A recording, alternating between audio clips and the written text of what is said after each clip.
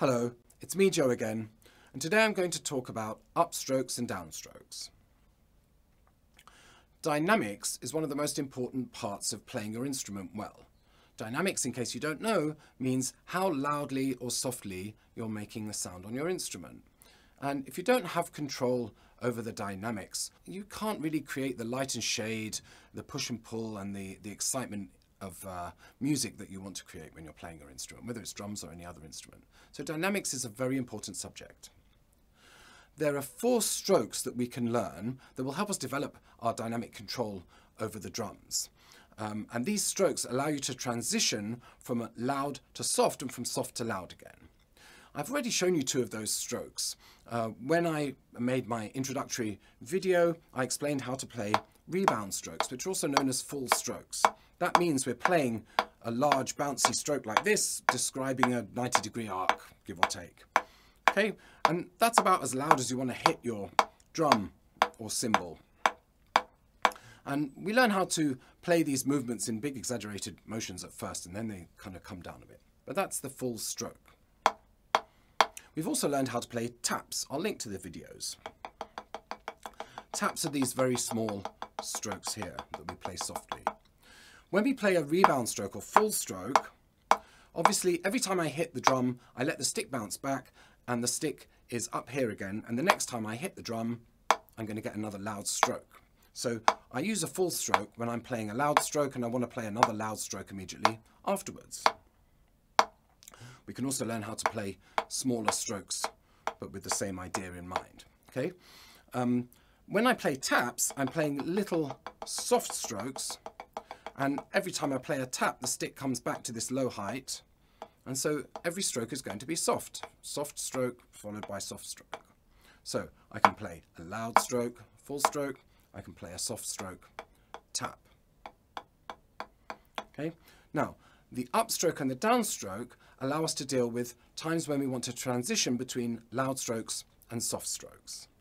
So I'm going to demonstrate the upstroke and downstroke as part of a whole cycle. If I hold my stick above my pad like so, I'm in a neutral position. So remember when I was demonstrating the other exercises, we started off in this position with my sticks in a sort of triangular or A shape, holding them like this. This is my neutral position, relaxed shoulders, relaxed arms, and my forearms parallel to the floor. I've got my hands holding the stick from above in what's known as German grip, which is what I'm focusing on at the moment. Okay, now we'll just focus on one stick here.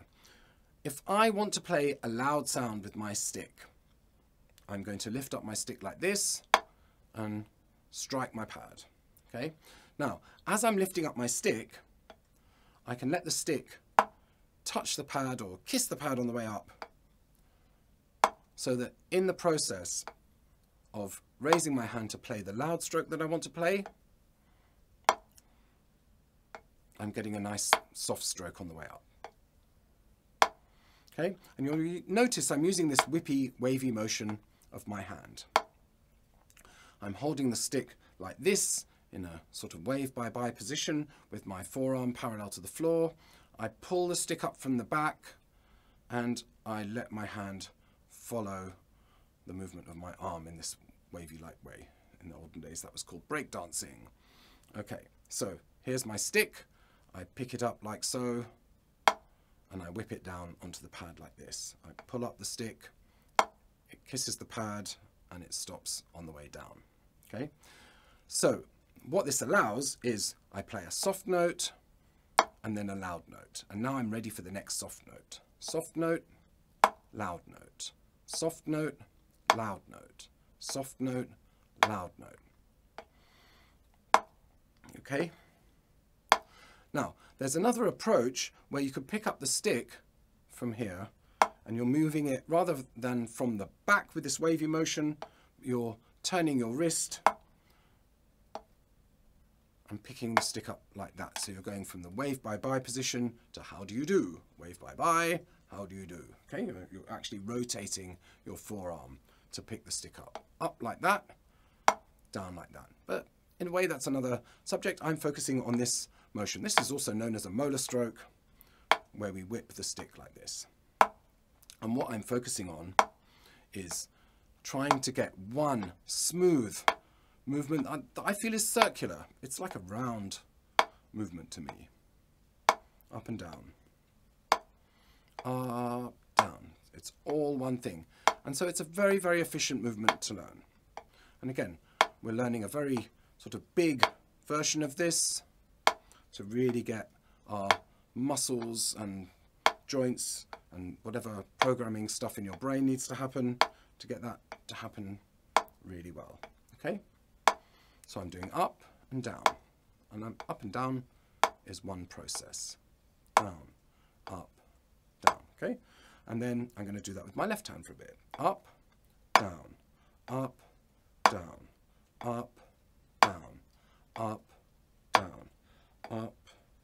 When you're trying to do this, try and get in the habit, well, anything that you're learning really, of watching what your hands are doing, really watching the movement of the stick. There's quite a lot of stuff to observe.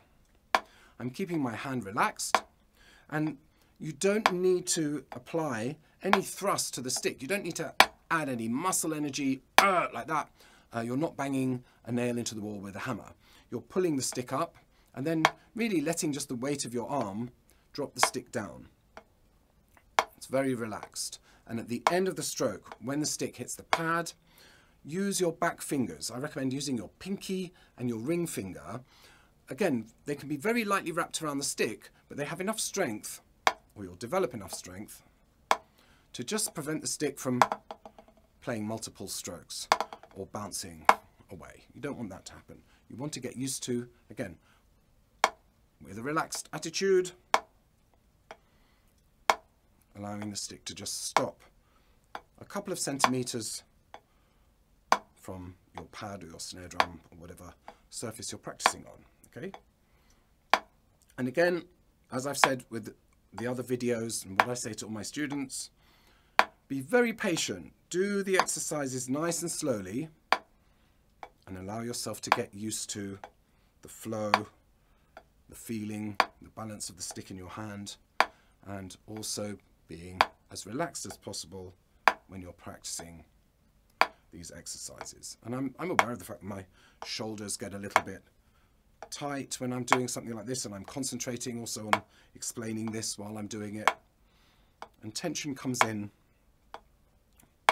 I'm not going to hold myself up as a example of the most relaxed anyone can be, but I'm always trying to be aware of how loose I am, how my muscles and my joints feel.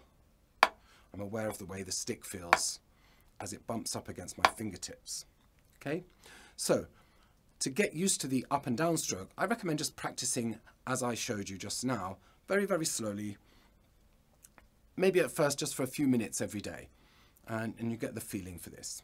Now, once you're getting used to um, the ups and downs like that, and you've focused on each hand or each limb individually, um, now you can turn it into an exercise. And this time, uh, we're going to do it uh, a count of uh, eight eighth notes for two bars with each hand. And we're going to start with the downstroke so that we're going to accent the numbers. Because it's kind of uh, easy to pay attention, then you can play it with your metronome. And we're going to go like this. One, and two, and three, and four, and one, and two, and three, and four, and one, and two, and three, and four, and one, and two, and three, and four, and one, and two, and three, and four, and one, and two, and three, and four, and one, and two, and three, and four, and one, and two, and three, and four, and. Notice that as you transition between uh, one hand and the other, the very last stroke is going to be a tap rather than uh, an upstroke and also that the, the, you know the first stroke that you play is not going to be an upstroke insofar as you're going to be touching your drum or your pad, um, but you're just going to raise the hand up for that first stroke because you're starting with the accent. Okay. the next exercise we're going to do, we're going to reintroduce the taps. We're going to play an accent on the one and three of each bar of eighth notes. We're still going to play two bars with each hand. Um, so you can count this uh, in one and two and three and four and counting out your eighth notes. Um, but it's also a really good idea to uh, verbalize the, the downs, ups and taps that are involved to really get this um, lodged into your brain well. So I'm going to start off, I'm going to just say the downs, ups and taps, um, and then I'll count it as well. Okay, here we go.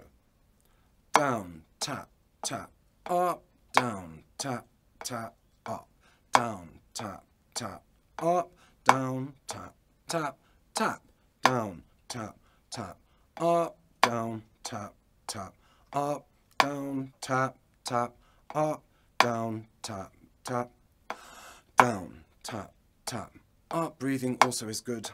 Tap, up, down, tap, tap, up, down, tap, tap, tap, down, tap, tap, up, down, tap, tap, up, down, tap, tap, up, down, tap, tap, tap, down, tap, tap, up, down, tap, tap, up, down, tap, tap, up, down, tap, tap, tap, down, tap, up, down, tap, tap, up, down, tap, tap, up, down, tap, tap, tap, one and two and three and four and two and three and four and one and two and three and four and one and two and three and four and. For our last exercise, we're going to mix up the two previous exercises.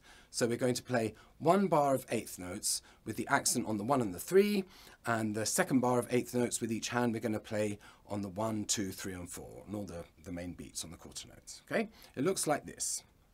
One and two and three and four and one and two and three and four and one and two and three and four and one and two and three and four and down tap tap up down tap tap up down up down up down up down tap down tap tap up down tap tap up down up down up down down tap down tap, tap, up, down, tap, tap, up, down, up, down, up, down, up, down, tap, down, tap, tap, up, down, tap, up, down, up, down, up, down, up, down, tap, done. Okay, so there you go. Altogether, four exercises to help you develop your upstrokes and your downstrokes. And um, I'm intending to make some more videos describing how we can practice and improve our dynamics, how we can develop the accents uh, that we want to be able to play. I'll get into a little bit more detail about how we combine the four strokes that I described all together. The rebound or full stroke, the tap, the upstroke and the downstroke. Uh, loads of stuff you can do with it. Meanwhile, if you haven't come across this before, I hope you enjoy uh, learning about this and try practicing the exercises that I've shown you today. I'm going to include a PDF with the stuff written down and let me know how you get on. If I can answer any questions about this or if you want to suggest a topic that might be of interest. Uh, at the moment, I'm targeting people at the beginning of their drumming career uh, who I think could benefit some from some very um, basic explanations of the fundamental skills that we need as drummers. So uh, yes, like, comment, subscribe, and all that good stuff.